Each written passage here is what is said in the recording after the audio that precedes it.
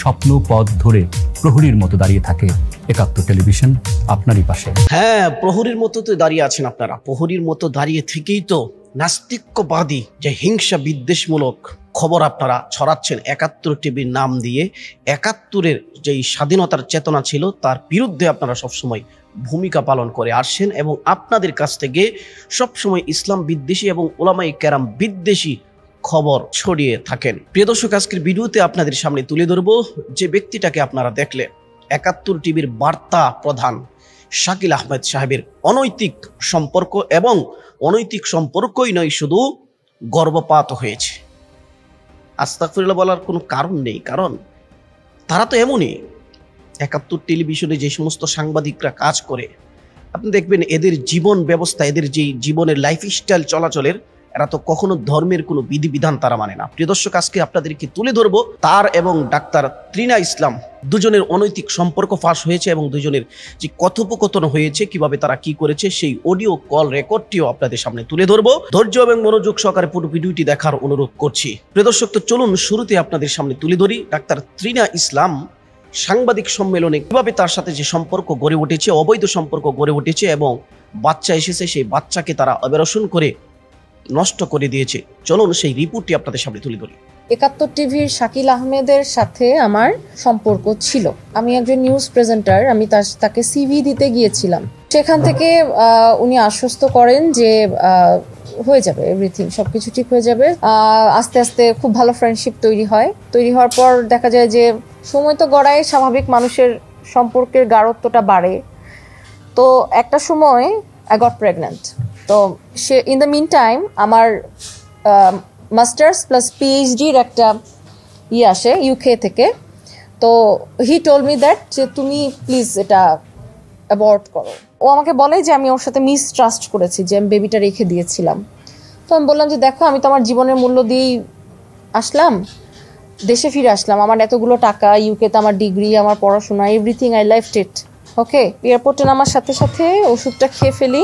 আমি ফাইনালি আসার পর বেবিটাকে আমি অ্যাবোর্ট করি। তারপরে আমি যখন বাচ্চাটা আমার যখন চলে যায় তখন সে আমাকে বলে যে দেখো আমার অনেক সমস্যা। এই সমস্যা আমি থাকো রিলেশনটা থাকুক। মানে অদ্ভুত অদ্ভুত কথা বলতেছিল যে আগে যে রিলেশনশিপটার একটা ইয়ে ছিল মানে আস্তে আস্তে আরেকজন চ্যানেলের হেড অফ নিউজের সাথে মিলিয়েও আমাকে কথা বলেছেন তার সাথে নাকি আমার সম্পর্ক ছিল।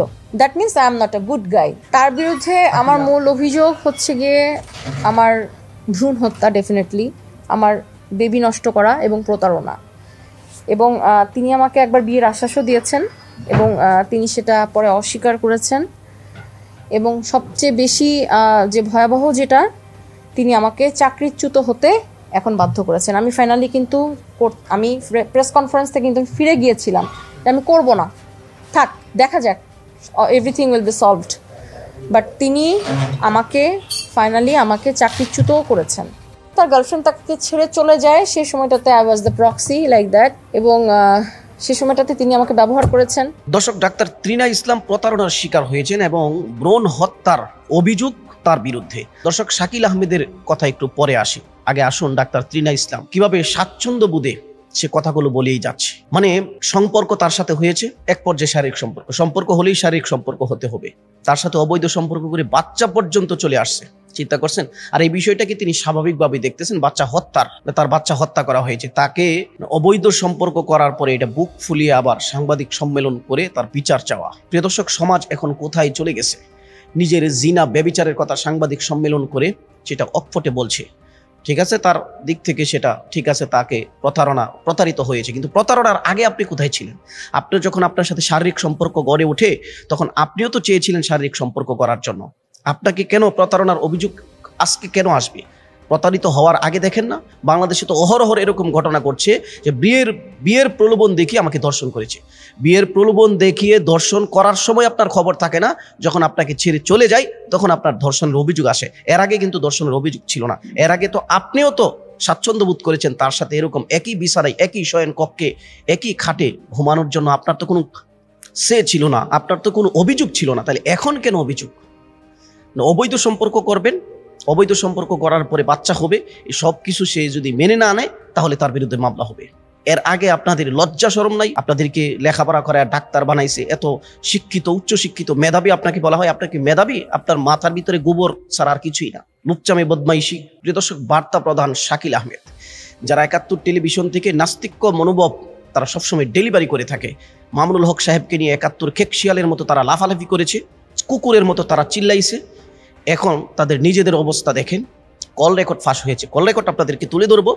ধৈর্য সহকারে একটু ভিডিওটা কন্টিনিউ করতে থাকুন। আলেমদের পিছনে লেগে থাকতো। কয়েকদিন পর পর এখন বলৎকারের অভিযোগ আসছে। এখন বাচ্চা প্রসব হয়ে গেছে। এরকম অভিযোগ আসতেছে।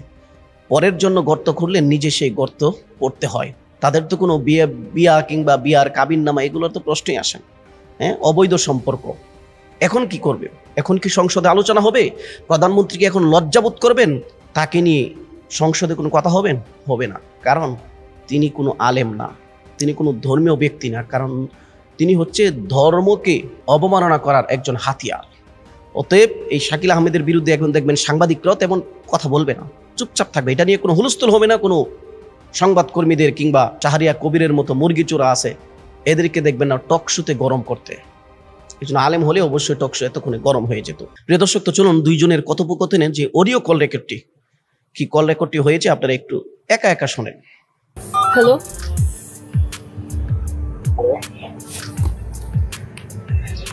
তুমি যে এখন কথা বলতে পারবা তুমি? তুমি যে বন্ধু যারা সেখানে কোনো চার্জ নাই বলো। হ্যাঁ তুমি যে আমাকে বললা যে আমি তোমার পাঁচ মিনিট দশ মিনিট চল্লিশ মিনিট এক ঘণ্টা কোনোভাবেই মেনে নিতে পারি না হ্যাঁ?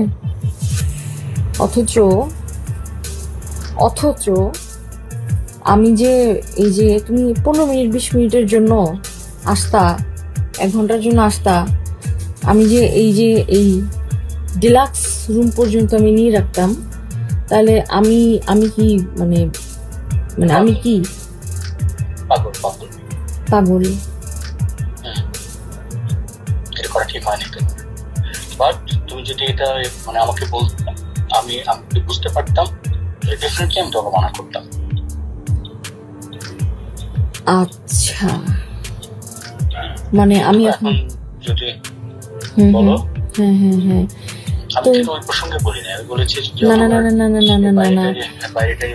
এইসব খুব সিরিয়াস বিশ্বাস করো। এত জিনিস- সিরিয়াস শুনে কেন ওই রাত এগারোটার সময় কথা বলছো?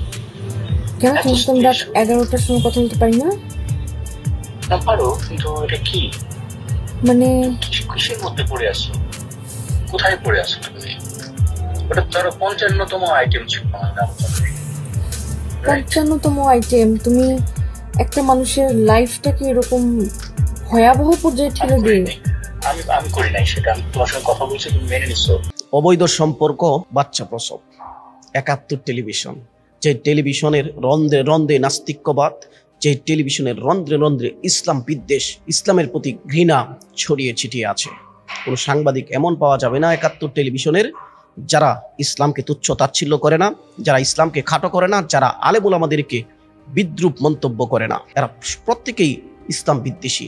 একাত্তর টেলিভিশন তৈরি হয়েছে একাত্তরের স্বাধীনতার যে চেতনা, সেই চেতনার বিরোধী সংবাদ প্রচার করার জন্য। প্রিয় দর্শক, এই শাকিল আহমেদ এবং ত্রিরা ইসলাম উভয়জন সম্পর্কে আপনার মন্তব্য অবশ্যই কামনা করছি। দর্শক, সকলে ভালো থাকবেন, সুস্থ থাকবেন। আমার ইসলাম ইউটিউব চ্যানেলের সাথেই থাকবেন। ধন্যবাদ সকলকে। আসসালামু আলাইকুম রহমতুল্লাহ।